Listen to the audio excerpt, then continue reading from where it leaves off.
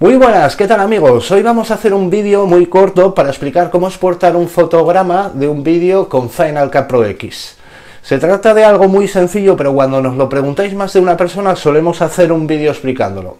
Esto nos puede servir, por ejemplo, para exportar una miniatura para los vídeos de YouTube. Bien, en este caso podemos exportar una imagen de cualquier fotograma del vídeo del proyecto, solo tenemos que colocarnos en el fotograma que queramos exportar, o también incluso del explorador. Si queremos, por ejemplo, tenemos un vídeo aquí, a ver, esto es un vídeo, nos colocamos en el sitio en concreto y a la hora de exportarlo, por defecto no nos aparece guardar fotograma actual. Esto tendríamos que habilitarlo. Podemos hacerlo desde añadir destino o también desde Final Cut Pro preferencias, que es lo que se nos abre en concreto. Luego en el apartado de destinos tenemos que pulsar en añadir destino y seleccionar fotograma actual.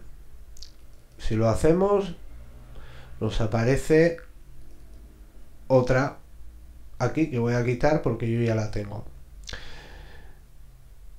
Una vez que la tengamos ya nos aparecería aquí. O también podemos ir a archivo, compartir y seleccionamos guardar fotograma actual. Otra cosa, si queremos, por ejemplo, imagínate que tenemos una marca de agua y queremos ocultarla para que no se exporte en la imagen, la seleccionamos, en este caso no tengo, seleccionamos el clip, pulsamos la letra V y se nos oculta.